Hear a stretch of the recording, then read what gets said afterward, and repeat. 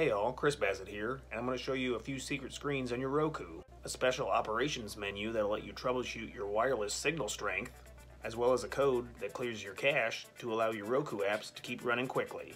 Let's get into it. The first code is home five times, up, down, up, down, up, and this will take you to the wireless secret screen. In this screen, you can troubleshoot your wireless connection.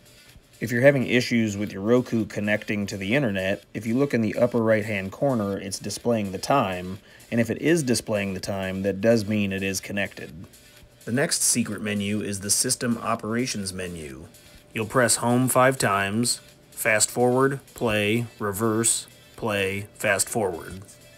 In this menu, you can see the temperature of your Roku. You can also see the IP address and the SSID. You can also access the wireless secret screen, which we were just at, as well as the system operations menu. Here you have access to several different menus like the audio, display, network, system suspend, and system reboot. This last code will clear your cache and reset your Roku, allowing your apps to load quicker. The code is home five times, up, reverse, twice, fast forward, twice.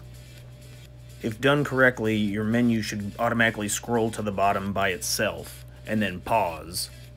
This soft reset will keep all your saved apps and important information, but it'll clear out all the unnecessary uh, items that are stored. So if you're having trouble with your television or apps running slow or sluggish, uh, definitely try this out. It should take about a minute or so, but then it'll reboot and then you'll be good to go. Hey, check out these other videos right here. Uh, there are links down in the description to save some money, so check that out. If you have any questions, put them down in the comments, and if this was helpful, hit the like button. Thanks.